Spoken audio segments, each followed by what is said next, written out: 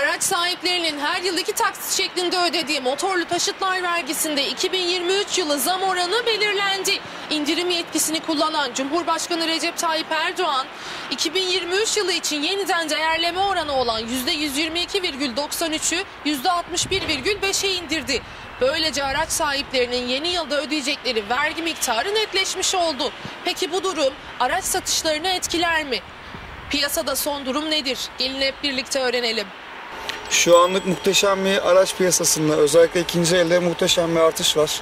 Ama yeni yıla kadar insanlar şu an hani saldırmış durumda araçları ama araç bulamıyoruz. Bayilerde aslında araç var fakat stoklarını saklıyorlar. İçeriden bir saklama olayları var. Bunu da çoğu kişi de bilmiyor. Yani içeriden bir artık hani insanların tabiriyle rüşvet denilen olayla sıfır araçları elden veriyorlar. Peki şu anki piyasadaki son durum nedir? Piyasadaki son durum son yaklaşık 15 gün 15 günde ikinci elde özellikle muhteşem bir artış var. Hani zam oranı yani %10 %15'leri bulmuş durumda. Fakat aracı satabiliyorsunuz, yerine araç bulamıyorsunuz. Bu da özellikle binicileri de esnafa da çok kötü bir eksi durumda yansıyor. Bayiye gidiyorlar. Bayide araçlar da yok. Biz de ne yapacağımızı bilmiyoruz. Yılbaşına kadar muhteşem bir artış var araçlarda. Nasıl durum olacak ben inanın bilmiyorum. Ama etkilendik mi çok büyük etkilendik. Ha, zararda mıyız? Değiliz. Zararda diyen varsa şu an yalan söylüyor. Özellikle esnaflar şu an güzel para kazanmaya başladı. Benim kanımca çok fazla etkileyeceğine inanmıyorum. Çünkü zaten piyasada araç çok çok az. E, bayilerden bile araba almakta problem yaşıyor insanlar. E, çok fazla etkileyeceğini zannetmiyorum işin açıkçası. Peki şu anda satış oranları nasıl? Araç olmadığı için çok fazla talep var. Yani belki araç olmuş olsa bu kadar çok rağbet olmayacak ama araç olmadığı için her geçen gün fiyatlar daha çok üstüne koyuyor ve daha çok değişiyor fiyatlar. Daha da zorlaşıyor. Biz ne yapacağımızı şaşırıyoruz. Yani bugün bu arabayı aldık diyelim ki 1 milyon liraya satıyoruz. 1 milyon 50 bin liraya seviniyoruz.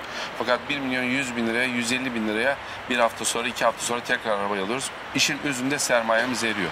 Geçen sene 10 tane arabamız varsa bu sene 5 tane arabayla dönebiliyoruz. Tabii bu bir sıkıntı bizim için. Satışları etkilemez Ee, ama maalesef araba yok. Yani araba gittiğiniz zaman bir bayiye e, verilen size süre var. Yani şu an bu arabalara talepler çok fazla arttı.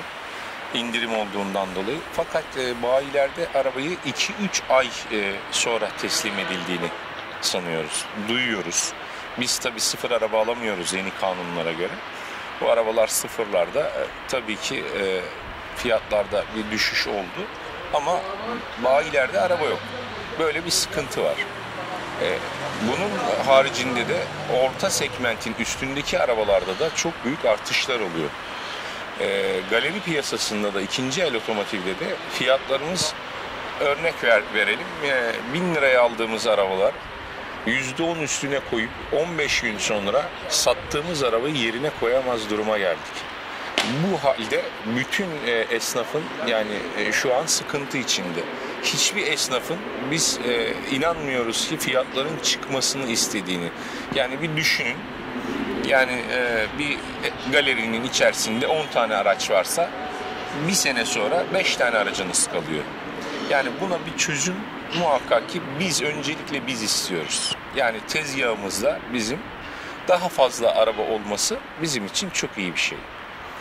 Böylelikle biz daha iyi verim vermiş oluruz. Ee, Biz eriyoruz yani bu şartlar altında esnaf eriyor. Muhtemelen satışları da etkiler. Neden her şeyde gelen indirim gibi bir cazibe yaratacak en azından bir çekicilik oluşturacak. Ama zaten çok gereğinden fazla yüksek bir vergi ödeniyordu. Muhtemelen etkileyecek. Peki şu anda araç satışları ne durumda? Araç satışları sezonun işi değil. Şu anda sezonun kış dönemi başlarında normalde araç satışları yoğunlaşır. Talep arttığı için ama gene tekrar ekonomik nedenlerden dolayı insanların alım gücü düştüğünden dolayı şu anda zayıf. Sezonun işi yok. Peki şu an elinizde araç var mı? Sıfır araç. Var. Sıfır araç yok. Sıfır araç bayilerde mevcut. Ama onların da yani fiyatlar arttığı için stoklarını az getirebiliyorlar. Onlarda da bitmeyen bir para yok. Stokları az olduğu için mecburen kısıtlı sayıda araçlar mevcut.